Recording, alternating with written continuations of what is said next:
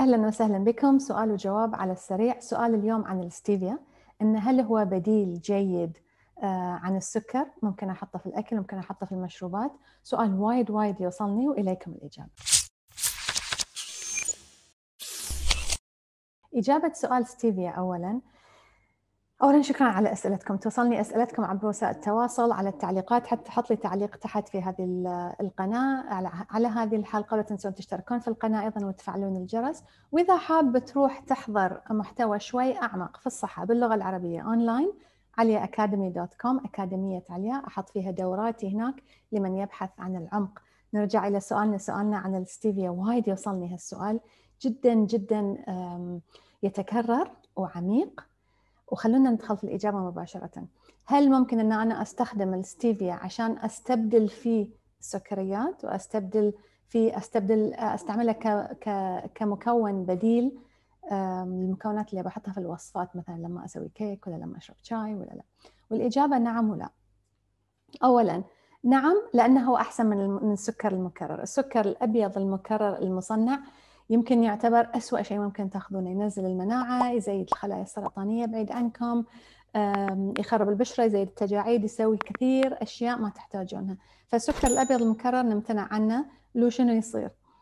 هل ممكن أن في بعض الأحيان أستبدله بستيفيا على أساس أنه هو شيء طبيعي وأرق على الجسم يمكن نقول أو أصح شوي على الجسم؟ الإجابة هي نعم.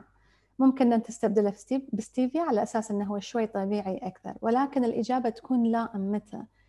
لما أنا كل يوم بشرب شاي مثلا كمثال وبحط فيه محلي شلت السكر الأبيض وحطيت ستيفيا هني المشكلة. أن إحنا المفروض أن إحنا نتحرك في اتجاه الصحة تجاه تعويد أنفسنا وتعويد لساننا أيضا أنه ما ما يتعود على الحلا بشكل مفرط. يعني ما يتعود انه هو كل يوم يجي له شيء حلو. فأنت لما تشيل السكر صح إن تشيل شيء آه، جدا غير صحي ولكن لما تستبدله بايضا شيء حالي يدخل فمك كل يوم أنت قاعد تبني عادة إن أنا أحتاج شيء سويت كل يوم أحتاج شيء حلو يدخل جسمي يدخل فمي كل يوم. فلما أقول نعم ممكن يعني معناته إن قصدي إنه ممكن تستبدله مرة في الأسبوع مرة في الشهر لما تسوين طبق حلويات لما خاطرك تطبخين شيء معين للعائلة مثلا خاطرك تحطين فيه شيء بديل نعم. ولكن أن أنا أخذ شيء مكرر مضر وأستبدله بشيء يعطيني نفس الطعم وأكرره كل يوم كل يوم في حياتي يصير هو جزء من روتيني ما سوينا شيء. لأن أول ما أنت تكون عندك هذه العادة هذه الحاجة لأنك أنت تاخذ شيء سويت كل يوم يرفع توقع جسمك للسويت للحلا ويخليك غير قادر على الإقلاع عنه تماما. لما جسمك يتعود أن أنا بعض الأيام ما بيكون في أي شيء حلو بيدخل فمي يكون وايد أسهل علي على المدى الطويل أن أنا أقلع عن الحلويات عامةً. وأيضا يصير أسهل علي إن أنا أستمتع بالحلا الطبيعي بالحلويات الطبيعية اللي من الفواكه وكذا. لأن لما أعود نفسي على شيء حلو كل يوم يدخل خاصة إذا مستوى الحلا مستوى الحلاوة فيه عالي كأنه بعدين ما يعجبني شيء. يعني لما أكل مثلا تفاحة أحس إنه ماسخة أحس إنه ما فيها طعم أحس إنه لا أحتاج شيء سويت أكثر. ف...